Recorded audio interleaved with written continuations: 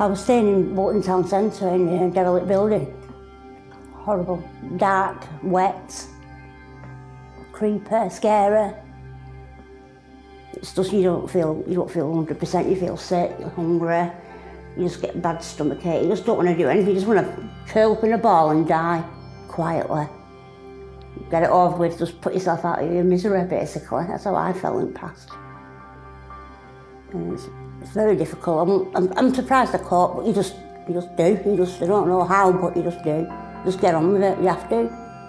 I was staying somewhere once in an empty building, um, and I woke up and it was on fire. I slept in a suitcase. I was thinner, slimmer than what I am now, actually, uh, but I crouched up in the suitcase and pulled the bit that you zip over me. Took me an hour to put the flames out. I just heart was, I was broken.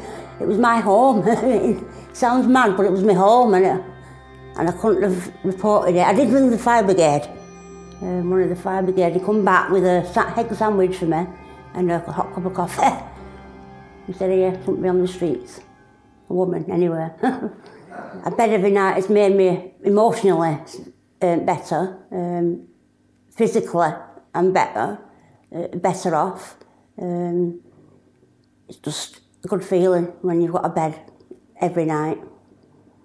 Security, it's a good feeling when I can wake up in the morning knowing I'm, not going to get wet or I'm going to have a rat jumping over me or someone's trying to rob me, you know. Can't, no amount of money can buy that smile on your face in the morning when you get up. I've just recently got back, got back in touch with my son, and uh, he's very proud of me. I put a new profile picture on Facebook, and um, everyone commented. I got a look, and my son got in touch with me up. Every time I get up in the morning, I think of him, and I've got a smile on my face. Everything's looking good for me at the moment, and I just want it to stay like that. you won't you'd be surprised that people don't tell you that they've donated, but you, when you do find out, you think, wow, I didn't know that. I wouldn't be here now if it weren't for all them kind of people, honestly. I wouldn't. Um, just all I want is my own front door, and then I'll be happy. Then I can have a future then.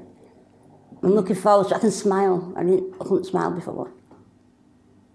So you just pick yourself up and carry on. I've been on the streets, I've been the lowest I've ever been. So if I can do that and still be here, I can take anything on now, can't I, really? I can do anything if I put my mind to it.